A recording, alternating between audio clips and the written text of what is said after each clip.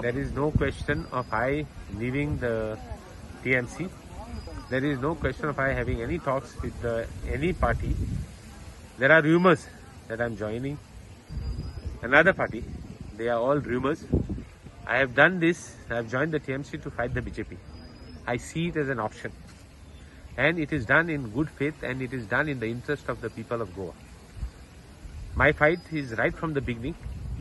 I have been fighting for people of Goa since 2000, maybe 7, 8 and from 2012 continuously.